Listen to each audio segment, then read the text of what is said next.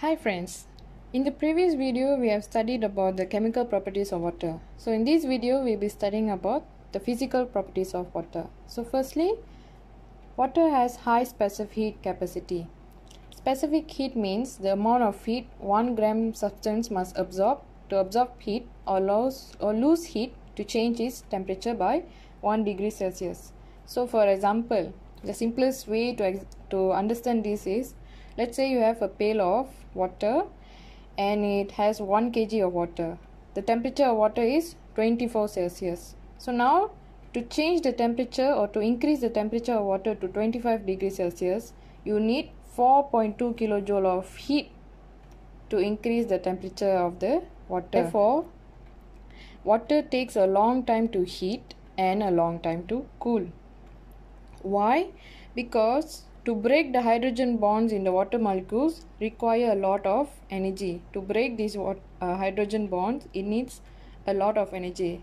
How much of energy? 4.2 kilojoule of energy, uh, heat energy to uh, break the bond. The physiological rules of high specific capacity is it prevents body temperature from rising too fast. Water can absorb a lot of heat from muscles or environment before the body temperature rises. It provides a constant environment for aquatic organisms to live. Why? Because there is no fly, wide fluctuation of temperature of water and also there is no sudden change of temperature of water from day to night. Let's say you are walking by the beach, right? On a sunny day, you will notice that the water is much more cooler than the sand. Why? Because the heat capacity of water is higher compared to the heat capacity of, uh, of sand. The physical properties of water. Water has high latent heat of vaporization. Heat of vaporization means what? Energy required to transform a substance from a liquid to gas at a given pressure, most probably will be atmospheric pressure. So the same thing, 1 kg of water needs 2260 kilojoule of heat to vaporize. So why it's the same thing? Because a lot of heat is required to break the hydrogen bonds in water molecules just to change the liquid state to gas state. So there are two types of vaporization. One is evaporation another is boiling. So evaporation is called as slow vaporization. It happens at the surface level of the water boiling uh, is a fast vaporization it occurs below the surface level below the surface level of the water. Evaporation at the surface level or vaporization at the surface level results in cooling of the surrounding and also minimum loss of water.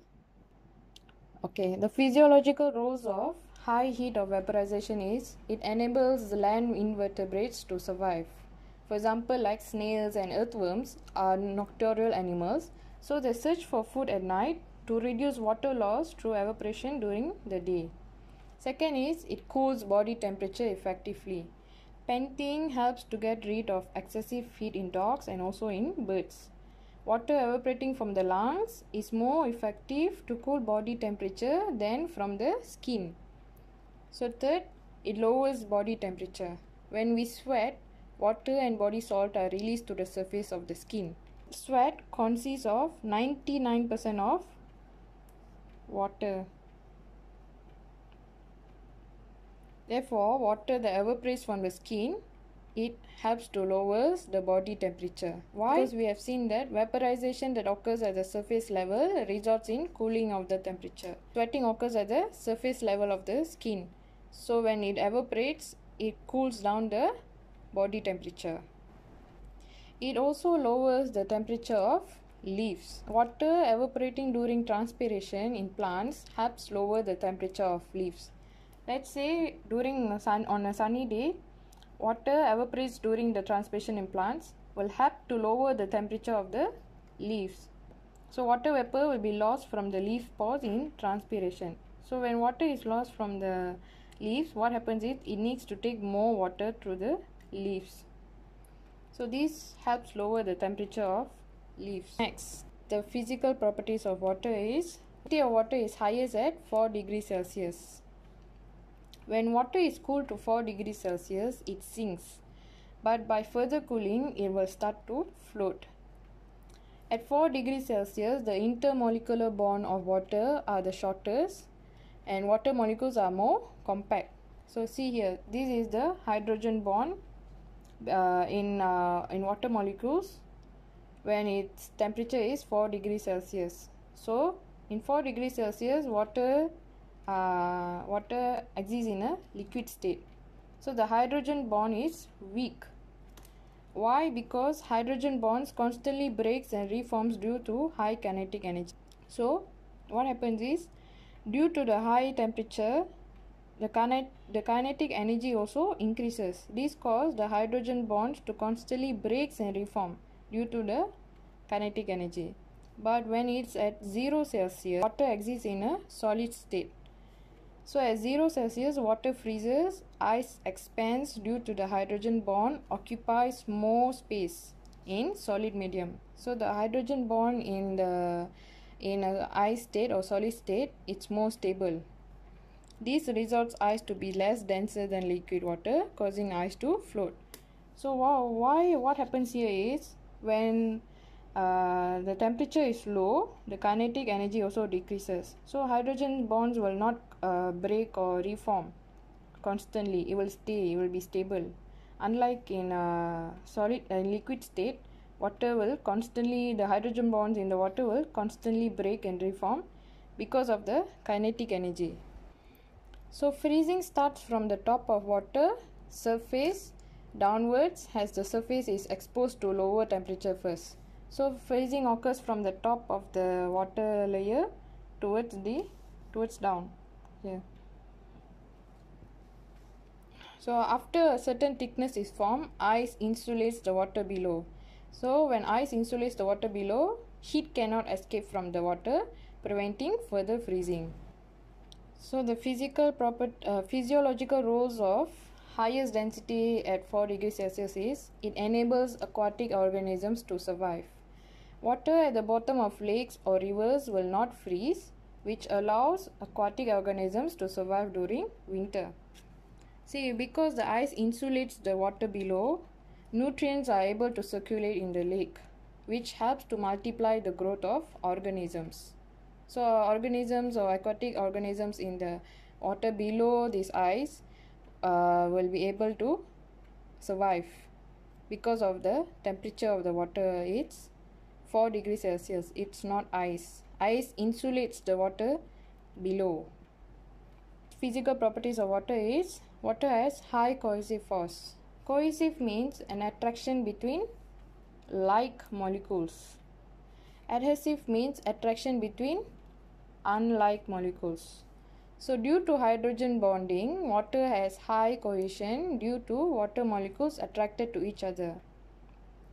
Cohesion means what? Like molecules. So water has like molecules. Therefore, they are attracted to each other. Let's say there is a bottle filled of water. So how to explain the ad- adhesive and cohesive force in this uh, example is okay. So there is two molecules of water. When two molecules of water attract each other, it is called as cohesion because cohesive means attraction between like molecules.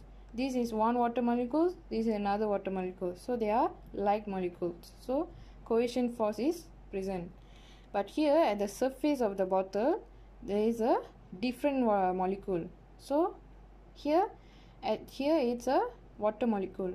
So the force between the surface of the water surface of the bottle and the water is called as adhesion. We will see how cohesive force related to the physiological roles of organisms. So, the cohesive force helps transport water and mineral ions up the leaves. Together with cohesive and adhesive force, water creates a transpirational pull in the xylem vessels when evaporation occurs in the leaves. So when evaporation occurs at the leaf, of course, water will be absorbed by the root first because it needs more water, right? So water be absorbed by the roots in the xylem vessels in through through the stem also through the xylem vessel and through the leaf also to the xylem vessels so how how how does the cohesive and adhesive force creates a transpiration pull is you see all in all the xylem vessels what happens is the wall of the xylem vessel is called as adhesive. Adhesive force is present right? So the water molecule will be attached to the surface of the xylem vessel. It's called as adhesive by when the water molecules two water molecules bond together or attract together it's called as cohesive force so to to to, uh, to allow the water to transport up through the leaves is it will transport like this. One water molecule attached to the xylem vessel and then another cohesive force between the water molecules and then another cohesive force and this water molecule be attached to the uh, xylem vessel. So this is how it uptakes the water to the leaf. Next physical properties of water is water has high surface tension. There is a skin like layer formed at the surface of water caused by hydrogen bonding. So the cohesive force is formed causing a strong inward pull of water at the surface. So you see the water molecules at the surface of the water it has a different force compared to the water molecule in the bulk of the water. We will see in detail. So see in the bulk here what happens is uh, there is a force in all direction of the water molecule right? But at the surface layer what happens is there is no downward force. Why? Because you see at the water level there is two medium. One is air another is water so cohesive force means what? Attraction between like molecules which is water molecule and other water molecules. Now here air is present at the surface level. So there is a unlike water or unlike molecule. So of course there is no cohesive force present. Therefore there is no downward force on the layer of the surface. So what happens is uh, a strong cohesive force will be uh, formed at the sides of the the water surface so this results in like a stretch stretch membrane or skin like layer at the top of the water surface. Because there is two medium one is what one is air and one is water. So because of this what happens is the surface of the water will be formed like a stretch membrane like a skin like layer. Therefore what happens is let's say when you place a needle on top of the water uh, it will stay on top of the stretch membrane but when you apply a force let's say you pushed it down the stretch membrane will be broken so the needle will uh, sink because of the stretch membrane the needle is able to float on the uh, water because of this skin like layer. The physiological role of surface tension is it creates a habitat for insects to live on the surface. For example, water skaters catch and gather food on water surface and also another example is female mosquitoes lay eggs on water and these tiny eggs can float on the water surface. So this example of water skaters is able to walk and gather and catch food on the water surface we have studied the chemical properties of water and also the physical properties of water. Thank you.